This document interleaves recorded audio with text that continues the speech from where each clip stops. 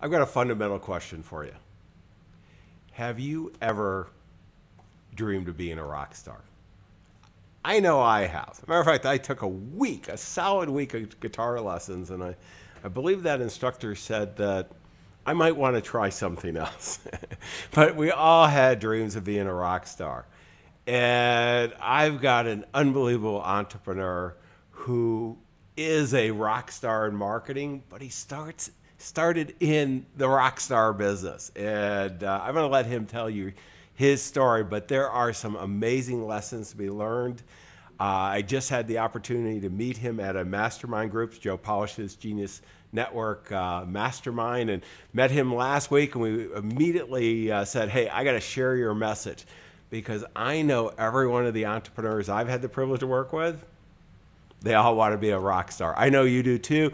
Maybe not with the band, maybe not with the guitar, but in your business because we want to make a difference. That den in the universe and AES Nation is all about accelerating your success even more. I'm John Bowen. Stay tuned. You do not want to miss this. Dig deep, think bold, drive hard, watch yourself soar beyond your dreams.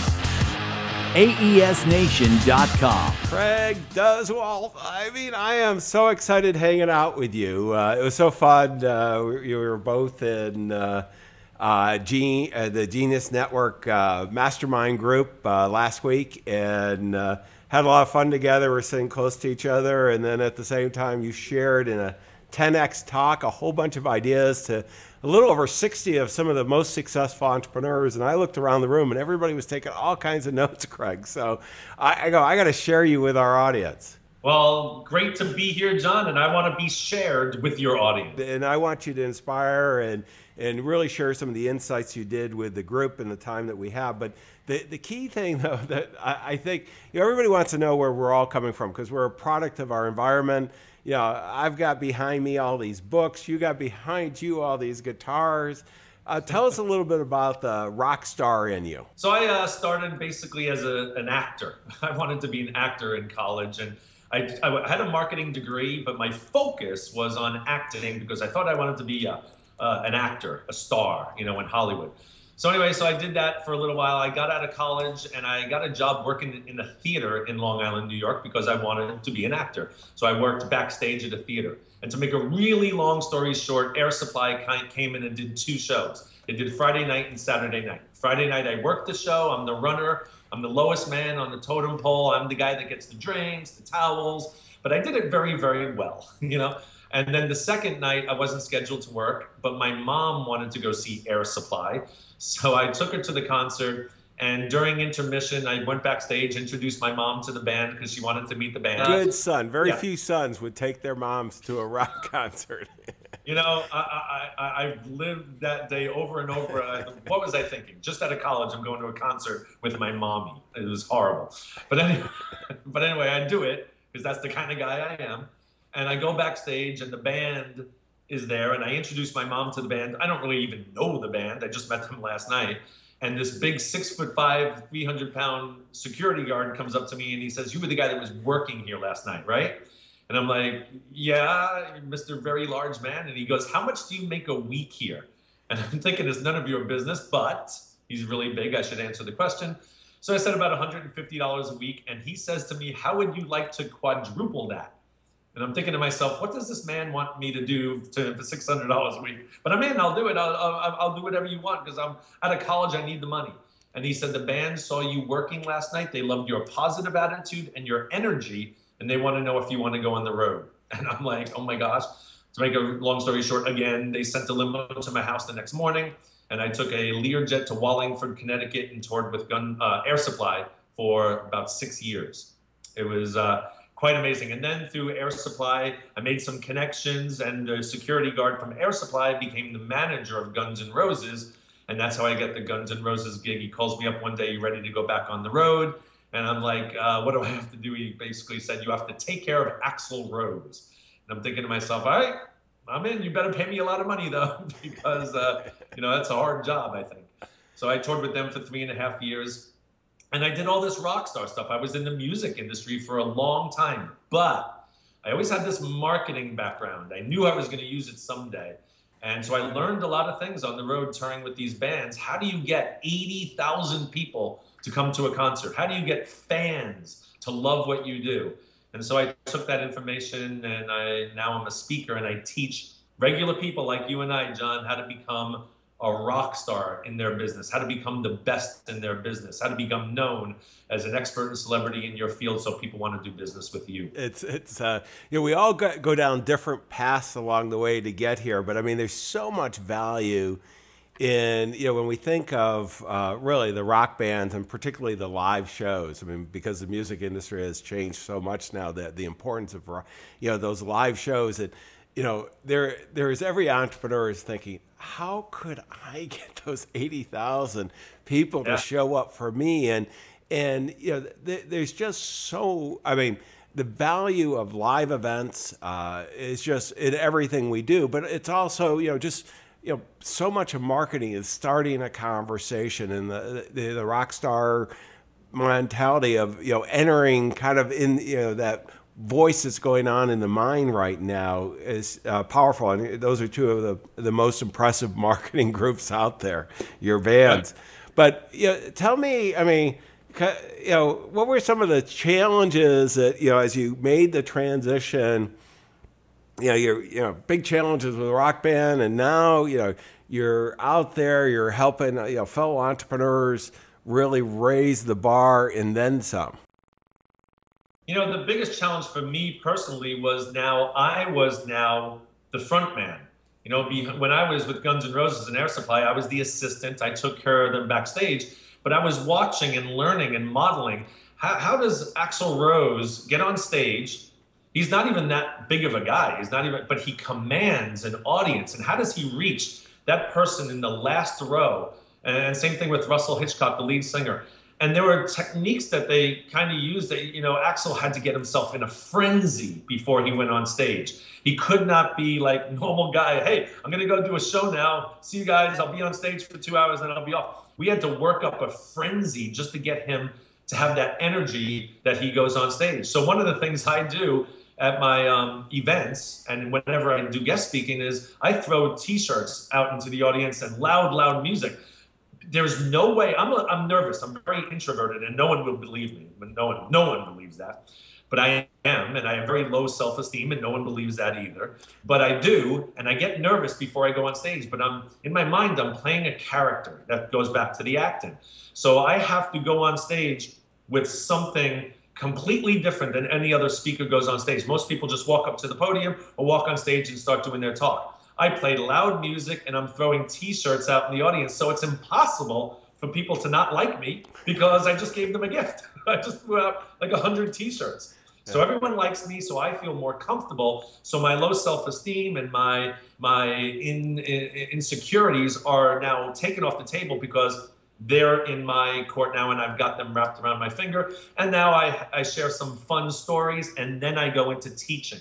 Then I'm able to now teach. So the difficulties and the challenges I had were becoming this character on stage because I'm not that guy, even though a lot of people think There's I am. a lot in what you just went over, Craig, that I want to make sure all you know we all get. And you know, the the one key thing is I I'm convinced all of us as entrepreneurs are insecure. I mean, that's yeah. just that and most um, i don't think i'm totally in, introvert but i'm definitely not an extrovert and, and you know most of us fall somewhere in that continuum and you're, uh, you know, you, it's very easy to be uncomfortable whether it's on camera, whether it's on stage, or whether it's in front of your troops, or whatever you're doing.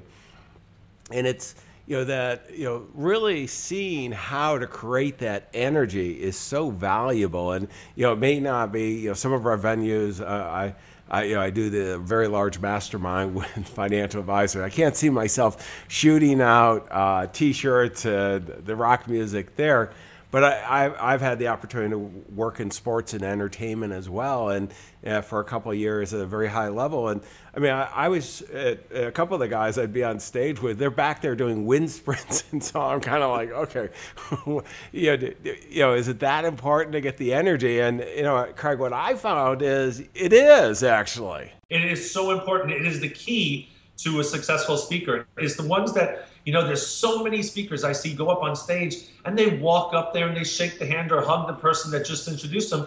And then they just start talking and and some of them get away with it because like a les brown he doesn't need to show throw t-shirts or anything because he's yeah. so so amazing. Brian tracy same thing.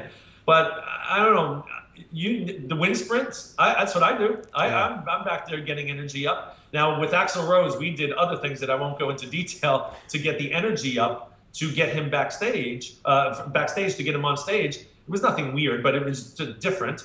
But that's what I do. I run around and I got to get my heart pumping. And when I get up on stage, I'm throwing the t-shirts out. I'm running from side to side, and I'm 53 years old right now. You know that takes a lot, but it gets my heart pumping and it gets the energy. And I think that's that's how you reach the people in the back of the room. You know, just to get that energy up. And that's how I got the job with Air Supply. I always do my best just in case someone's watching. You never know who is watching you. Yeah, you just assume somebody's always watching. I mean, that's just you, you just have to do that.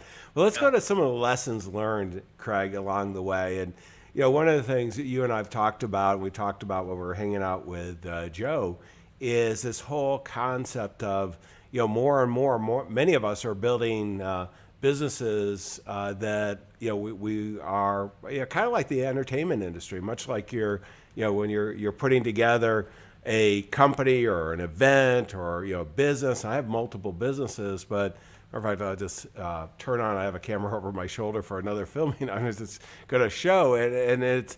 I'm at global headquarters, my pool house. I have three businesses. I've got a whole bunch of people working with me and everything, and they're all project based. And you know, in today's world, we, we we're kind of isolated, so many of us. And you know, h- how do you deal with that? You know, what do you recommend for your fellow entrepreneurs? You know, that's a great, great question because that's what we do as entrepreneurs. We're our own bosses. We're always by ourselves. We, and we have to inspire ourselves all the time to want to get up in the morning and do some work today. When the pool is right over there, and the golf clubs are right over there, and ESPN is right here, and it's hard to get into that mode. So I always share with people, you must, as an entrepreneur, join a mastermind. So that's where I met John. Was at Joe Polish's mastermind. It's an amazing group of people. We had 67, I think, the last time every time I go to a mastermind, or every time I speak at an event, or every time I attend an event, or anytime I go to my mastermind group, I get inspired to want to go home and work harder to do something. So I need that that push and and and, and the like-minded people in the room to motivate me. I'm like, oh my God, John's doing that, and Dean's doing that, and Joe's doing it. Why am I not doing this? Why? How, how can I do this better? Why? Why am I not doing these things that these guys are doing? And that's why they're successful. And it just shows me what other people are doing every week. Every week I speak either I either speak somewhere or I'm at a mastermind every Friday or Saturday or Sunday. And it, and it hurts when my kids want to go golfing and stuff like that. That part hurts. But I speak a lot and I'm out there a lot. And that's a key. You have to get out there so many of us want to do the internet. We want to all focus on the internet, and that's great. But if you're not seen by people out there, they're going to forget you tomorrow because enough of us are actually being seen at places. That's key. You got to join the. I think it's such a big part of it, Craig. I've, I the difference it's made in my life has been huge, and uh, I really I've always been in groups and so on, but I got into formal mastermind groups uh, early in the 90s when I was building an investment firm and you know it helped me. I was in for four years and great group of CEOs and was able to sell that business and another business for a lot of money and lessons learned. And and then uh, you know the, I really start joining again in 2008 2009 with the financial downturn and you know you could talk with your employees or your contractors and yeah, but you really need your fellow CEOs uh, who, I mean, at least I did. And when I joined, I'm now in three mastermind groups, not counting the one I run. And it's, and I've got 220 in mine, and, and I just, I love it because I, I get so many ideas there. But in the group, you know, when we're in these groups, I mean, not only do we meet people, uh, you know, opportunity, you and I to get together, but and hear lessons people are sharing their best ideas but the side conversations are just so invaluable. And, and it inspires you, but it also gives you a track to run on because somebody somebody there is very likely, you know, walk the path before you, and and that's that's powerful. But you know, one of the challenges out of all this, and uh, Craig, I, you know, boy, I mean, you know, with all the stimulation you get, you know, from being a rock star, whether in music or in business, is all these opportunities show up, and how, how do you how do you stay focused? Uh, because there's some opportunity to get distracted. I, I am I am the king, I think, of ADD, HD, QG, whatever it's called. I am the king of that. I learned very early on, but never applied it. You have to focus in business. Uh, I read numerous books. You got to focus. You got to focus on one thing. But I never did it. I, I wanted to be an actor, you know, and, and I was I wanted to be a musician, and I was good at marketing, and then I could uh, five thousand things I, I was doing way back in the day. But I did them all very good. Same thing in sports. I was really good at golf. I was really good at tennis. In fact, I was a ranked tennis player. I was really good in football. I was really good in basketball, really good in baseball. But I never, if I would have done one sport, I probably wouldn't be talking to you now because I'd probably be on a field somewhere. Well, actually, I'd be retired by now. But I was really, really good. I never focused. And one day, my wife actually was diagnosed with uh, Hodgkin's lymphoma cancer back in 2006. And it was the worst day of our lives, obviously. Um, but it, it stopped us we were on a treadmill. We were just on that on that uh, that hamster trail thing, you know, whatever that whatever that thing is called. And we just stopped one day because we had to, and that's when my life changed. I, I it was the worst day of our lives. Ended up looking back now was the best day of our lives because we stopped and said, "What are we doing?" I, at the time, I was the manager of a minor league baseball team. I was uh, the general manager. Sorry, general manager. I was I opened uh, a theater. I had an 81 seat live theater in Santa Clarita, California. I had an advertising agency. My wife had a modeling agency that I was helping her with. We had three young kids, six, three, and four, six, four, and two at the time. Uh, and I was in the hospital four times that year from stress. From that year from stress, and she was diagnosed with cancer, and it made us stop. And then I started reading the books again, and I closed my advertising agency. Went to a seminar on how to become a speaker you should become a speaker. And it's it resonated with me on this day because my mind was open and I've stopped everything. And I said, you know what? I am going to be the best speaker that I can be, and I'm going to focus on one thing. And that's what I've done. And ever since 2009, I'm a speaker now, and I'm a rock star speaker, and I teach rock star marketing, and that's all I do. And yes, I have a couple of other businesses, but it's still focused on one thing rock star marketing and I teach this. So I have 150 people in my mastermind group. Mm-hmm. Every one of them says, Well, I want to do this. I'm really good at this. I think I should do this. Everyone says I should do this. They want to do all these things. And they do all these things very, very kind of good, but they haven't mastered anything. So that's what we focus on is teaching people focus on one thing. Wherever you go, you tell them, This is what I do. And then when you get to know you, you can say, oh, I also do this, this, and this, and this. But you have to focus on one thing, and most people don't. And even if you teach it and you tell them, they still say, I, I still can do it. I can still do entrepreneurs where yeah, we believe that we can overcome almost everything. And yes. and it's you know one of the reasons that we are entrepreneurs, but it also sets up for failure. And I mean, one of the things that's helped me tremendously, Craig, on this is it's either a hell yes or it's a no. You know, yes, so I mean, and I because I mean the problem is you have more and more success. There's more opportunity, and and you can get so distracted. You can make your life unbelievably complicated. And the most successful entrepreneurs keep it simple and elegant. They're very focused. They're systemic, and that I forgot who even told me that hell yes or no. Uh, but once I got that, that became my really powerful filter. I just heard it at the mastermind we were just at. I, I, Joe said it. I don't know who came up with it, but that was big for me too. If it's not hell yes, it's definitely no. And I've learned how to do that, and I'm really good at that now. Uh, I'm very, very. My wife tried to tell me how to do that for years, but I, I didn't get it for a while. But I got it now. Our wife's. Uh, I've been married for about uh, just over 35 years now, and uh, she's been coaching me. And there's many things along the way. She said, you know, you should have just listened earlier, but that's a whole different story. Let's go yeah, into kind of the the next lesson learned, which you know you really you shared with the group uh, a lot of framing around thinking differently. And I think you know this is one of the powers of your background is that you didn't come up, even though you have some traditional marketing training and copywriting and all that, you know, the exposure with the bands and uh, being out there, you know, for so many years and then coming back and really taking these lessons, you really help people think differently. And maybe tell us what that means to you and then, you know, let's go over some of the suggestions where you've seen successful entrepreneurs actually execute on being different. So my disclaimer is right now that I share probably 250 to 300 really, really outside the box things that you can do in your business at my Rockstar Marketing Boot Camps that are designed to actually help you to think differently. So some of the times when I give these, some people, some people that just want to argue, just want to complain, say something like, "Oh, that's unethical. You can't do that. Oh, you shouldn't do that." I get it. I understand. I don't think any of them are unethical, to tell you the truth. Uh, otherwise, I would not share them.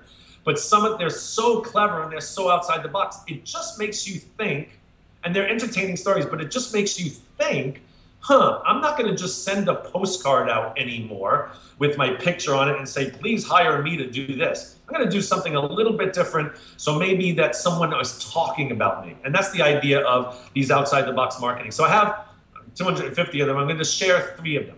One of them is called part two.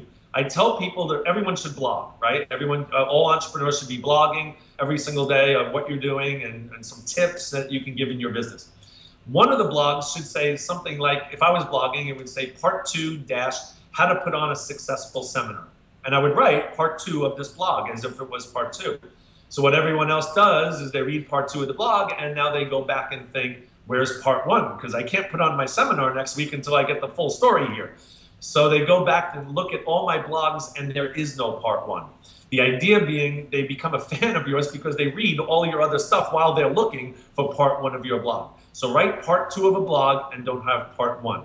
So you see where I'm, that disclaimer is very important now. Uh, yeah, I, I, was at the you know uh, the meeting where you were presenting it, and it was really interesting because they, you know, uh, I'd say most uh, they're they're all CEOs or almost everybody in the room was CEOs, but they're a little marketing bent, and uh, you know, just I mean, I saw everybody write it down. There are a couple of guys go, I don't know, and then you know but you can make available part one. I mean, it's got you know. That's you, right. Yeah, yeah. if somebody reaches out to you, you write it and send it to them, type thing. But you know what? Some what I like about it, uh, Craig, is you know. To me, marketing is all about starting a conversation, and and you know, in today's world, the amount of noise everybody has, and to I mean, we just did a campaign that we just got a great result on, and I won't go into kind of some of the lessons, but I mean, it's, it's amazing when you see it work.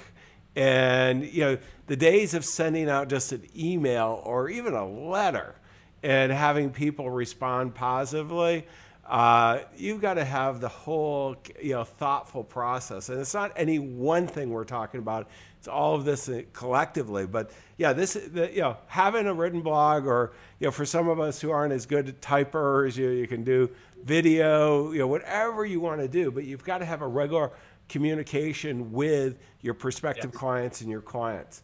Okay, yeah. what what else can we do? Okay, so and here's another one. Um, I, I do this one a lot, and this is the get the conversation started one. I hate cold calling. I, I I've never cold called in my life, and I come from the rock star background, so I don't think Axl Rose uh, ever cold cold called someone and said, "Hey, we have a concert next week. You want to come and see it?" You have to get eighty thousand people. So I try to just get the conversation started. So what I do is I send empty envelopes to people that I want to connect with. So I, I send an empty envelope and it has my uh, their address on it, and in the return address has my return address, and underneath it is my phone number. Underneath the return address is my phone number. So they get the letter and it's empty. They open it and it's empty, and they're so curious that they look, what the heck was in here? They call the number and they say, Hey, Craig Duswalt, I just received a letter from you, but it was empty. Can you tell me what was in it? And I tell them nothing was in it. I just wanted you to call me. and, and that got the conversation started. And 99% of the time, they're like, Are you serious? That's really good. What do you do? And I teach rockstar marketing. I teach businesses how to think outside the box. And, da, da, da, And so that gets the conversation going, like you just said. If you're an attorney expanding your services, you shouldn't do it. But you know, you know these are you know, industry specific. But uh, but uh, clearly, there's going to be some businesses, particularly marketing ones. I, I think you know if you're going to be fun, lighthearted, that whole thing. Yeah. Uh, it, it's just, I mean, really does start the conversation. I know if I, I've never gotten that, Craig, but if I got that, I if I didn't follow up, I'd have one of my assistants follow up. I mean, there's just you know, sure. yeah, there's no way it wouldn't at least start a beginning conversation. You got to have that next script thought through that there's going to be value together. Okay. I, I, actually did this when I tried to get clients for my advertising agency. I that. that I mean, I think that's a, a brilliant one. It, it, and uh, well, let's go. What else you got for us? I got one. I, I one more that we'll share because we're. Uh, I can give a hundred like 200, but I don't want to do that. I want them to come to my boot camp and see these live. All right, so the last one is called Campaign, Rockstar Campaign. So I teach people uh, to run for office. So I ran for office in my local community about four and a half years ago, and I was really running for office because I really did want to be involved in the office I was running for. I really wanted to be involved in this. So I ran for office, and then I went to a, a meeting, and I realized, oh my gosh, what did I do? I don't want to do this because first of all, it took a lot of time, and I get that. Um, uh, it, they were they were talking about things that me, I'm Mr. ADD. I want things done now. I, I look here's here's the problem. Here's the solution. Let's fix it. In in these local offices, there's a lot of politics and things, the hoops that you have to jump through that it just wouldn't fit me. But I did. I ran for office, and I realized this is this is not what I wanted to do. But what was happening was, you get those signs where you could put your name, like Craig Duswalt in the office I was running for, and you could put them on people's lawns, and you could put them on street corners, and you could put them everywhere. And then you get the media, the local media, calling you saying, "Hey, Craig Duswalt, I hear you're running for school office. Uh, give us some thoughts on why you're running." And I would talk a little bit about running for office, but I would talk a lot about my advertising agency at the time. But and they would put it in the paper. Craig Duswalt, owner of Green Room Design and Advertising, is running for office, and they would talk about my advertising agency. So it's a great way to get into the media. It's a great way to get your name out there. Like I said, you can put these signs everywhere in town, and it's legal to do. But what happens is, what happened to me was I didn't want to win because I'm thinking to myself, oh my gosh, I would have to do this for four years, and I don't want to do this. So now I teach people to think differently and consider running for office. And this is going to be the where people go, "Oh, Craig, stop, stop." Run for office and lose, yeah. and you got to lose is the key. Well, no, and you got to be willing. I, I, would argue you got to be willing to do the job. But you know, it, matter of fact, I was reading earlier today uh, a financial advisor that I'm aware of. He was uh, running for Congress and he's running in a heavily Republican area, and he has very little chance. But he's got one big issue that he's doing, and the amount of publicity he's going to get, and and I've had friends do that in that industry. That I mean, you know, so much of life is being both an authority and a celebrity. And you know, the authority part that means you're getting the results. You know how to deliver a great experience, whatever it is you do, you nail it but that celebrity part's a little harder. And I mean, that's, that's a great way, Craig, of raising that awareness. And if you're passionate about something, sharing that, you know, you always have the risk that, you know, as entrepreneurs, probably one of the most scary things is being in a bureaucracy. But uh, uh, in fact, I, I, was in a board meeting. Uh, uh, for our homeowners association last night. So I can say that those things are you got to be careful what you wish for type thing. That's right.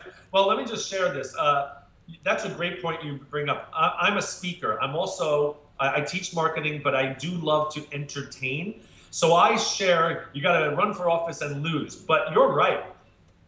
If you win, you can still be an entrepreneur and run for that office and make a difference in this world and I'm actually thinking for running, all jokes aside, I'm thinking of running for office again because there are some issues that I do want to address. So I am actually thinking of running for office, but for the effect of where when I speak, I try to tell a funny story. But there is a there is a, a truth to that, and there is a very big benefit of running for office. Even if you lose, you still get a lot of publicity.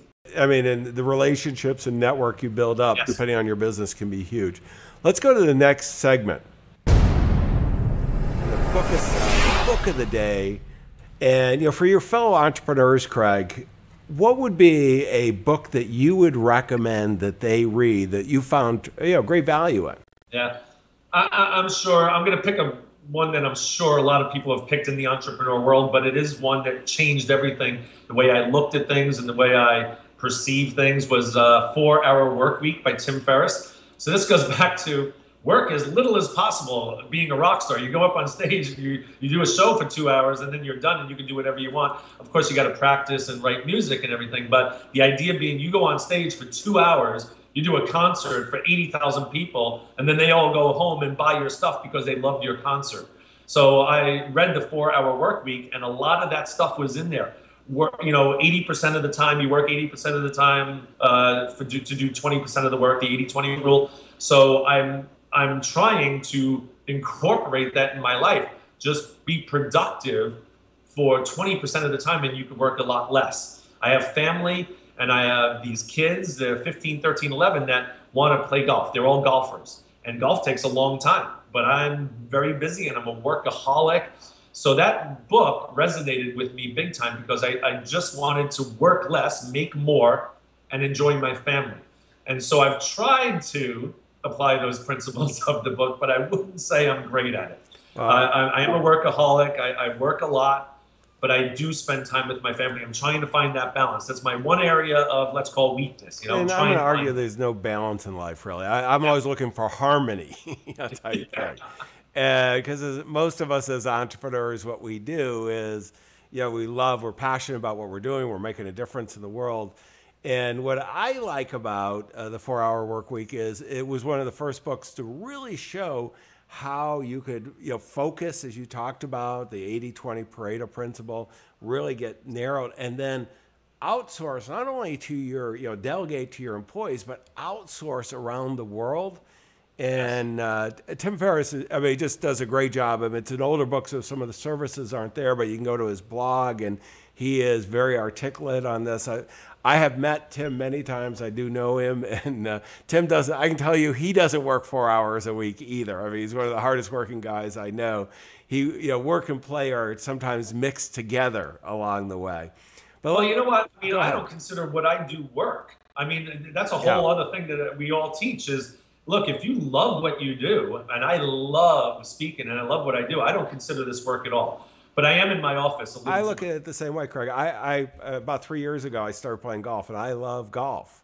Oh, and I live on one of the best golf courses in the country, and uh, uh, it's one of the top hundred. And and you know, it's I'm a member, and there's nobody there during the week. When am I going golfing with you? Well, we're going to have to do that. But the, the point I want to make is I could not play five times a week. I just couldn't do that. I, I do have some friends that do that. I, I want to contribute, have fun, do some of the things that we're doing here, but at the same time, you know, blend in that as well. Okay, let's go to the next segment. And the app of the day. And you know, if you think on your smartphone, uh, what would you recommend to your fellow entrepreneurs that you have? Well, I use. I'm not a big app guy. I, I use the apps. really funny to to get my mind off work, and I uh, I'm actually really into Trivia Crack right now. But anyway, that's a whole other thing.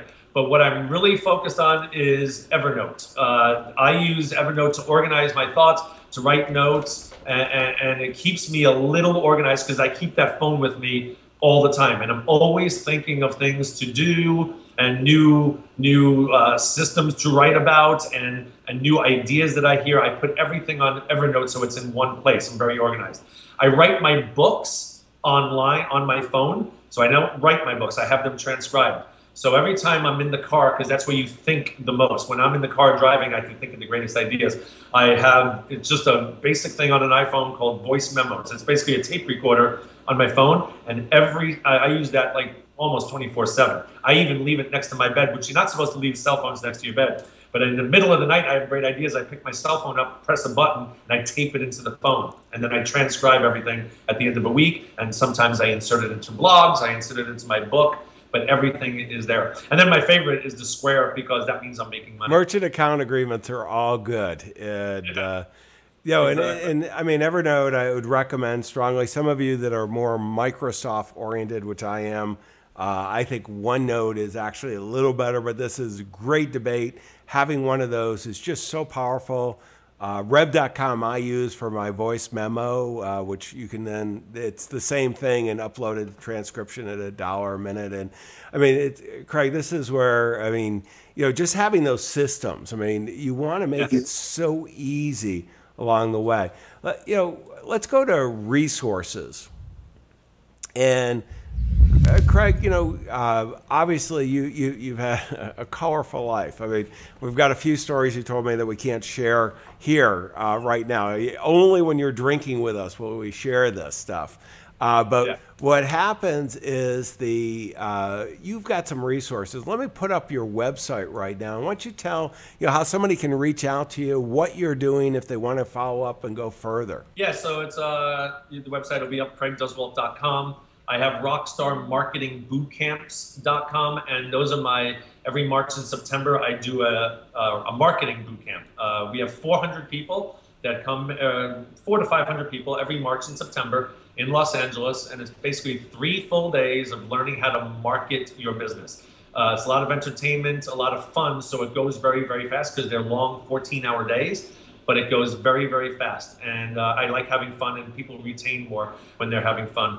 Um, I, I use uh, resources that I have. I have a list on my on my um, website. It's tools I use. It's actually being updated all the time. But a resource that I love, that I use a lot, and I get a lot out of it than just what it's supposed to be, because I think outside the box, is prweb.com. Well, those websites where you send a press release out, and then uh, you they have a template for a press release, and they send it out to like 40,000 websites. I get so much traction out of that, not just because I'm seen out there by a lot of things, but I do a couple of clever things with the information that I get that I share at my boot camps. I'm not going to share that now because I can't give everything away. But uh, but uh, I have uh, a lot of great things that you could use from PR Web after you send the press release out as well. So basically, I put on boot camps every March and September. Then I'm doing this new thing, this personal growth weekend every January, and my first one will be uh, in January.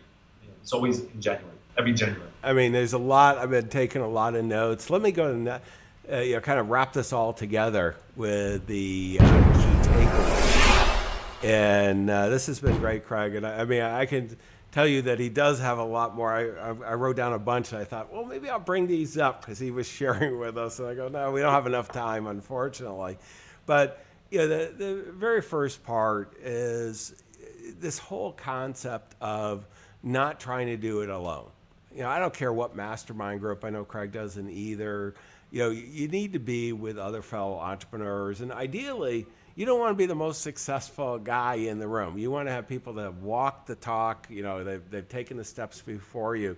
But I, I, I got to tell you, it's changed my life. Some of the most successful entrepreneurs I'm working with. Uh, I mean, we spend over a hundred thousand a year on this kind of lifelong learning mastermind. I'm going to encourage you to do that. Uh, you don't have to spend the hundred thousand, but get in, involved in at least one. Second, focus, focus, focus. This is a big deal. Uh, it's, you know, it, it, uh, many entrepreneurs. There's all kinds of studies uh, that we have ADD, and we are wired differently than the regular folk. And because we're wired differently, you know, as a successful entrepreneur, you know, you, you may or may not have ever had ADD, but you certainly are more likely to be able to be distracted by, as you have that success, all these opportunities. And really pick, you know, what it is that you're going to focus on and what difference you want to make. And then, you know, use a filter. I don't know who to credit. I, I've been using it for a number of years, but hell, you know, yes, when it's really exciting, it's going to have the return on investment. You're going to be able to make a big difference, and everything else is no.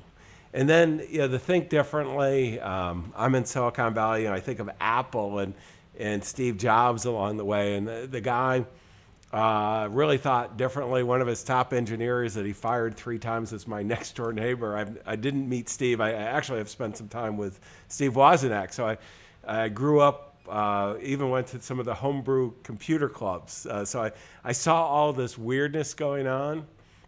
Uh, I didn't invest all. I should have put all my money on that, but uh, you know, did well through that process. But my next door neighbor was explaining what it requires thinking differently, and he's he's written up in you know, all the books on Steve being fired. He's the only guy that's been fired three times personally by Steve. So, uh, you know, you have to think differently. And the marketing tips who we got, uh, you know, going ahead and the part two with a blog, you know, write a blog, write a blog, do a video, whatever it is, do that. But leave them wanting more. And one of the best ways is part two, sending an empty envelope. I am going to take you up on that one right away, uh, Craig. And I'm not going to send it to you, but uh, yeah, I will do that, and I think that'll be fun. Run for office. I've seen it over and over again. If right situation, this can be just amazing. And you know, with that, Craig, I want I want to thank you for your insights, and I want to encourage everybody out there to you know, there's no value. You can't accelerate your success unless you execute. Go check out Craig, you know, all the recommendations, everything's at AESNation.com, the transcript, the show notes, all the links. Share this with your friends, their fellow entrepreneurs. We all need help from our friends muddling through so we can make a huge difference. Your clients and your future clients, they're counting on you. Don't let them down. Wish you the best of success. Exceptional, remarkable breakthroughs. AESNation.com.